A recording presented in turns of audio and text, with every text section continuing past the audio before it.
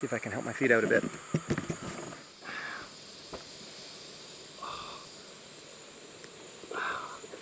Man, a week solid of being muddy and wet. Oh, yuck.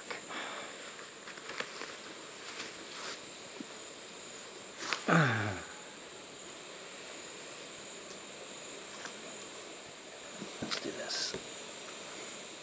The smoke from this termite nest is said to ward off jaguars, said to help keep away the bugs, and help to cure foot fungus.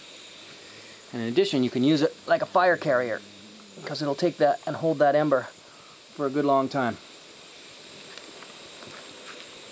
As I practiced this traditional medicine on myself, one said to ward off jaguar.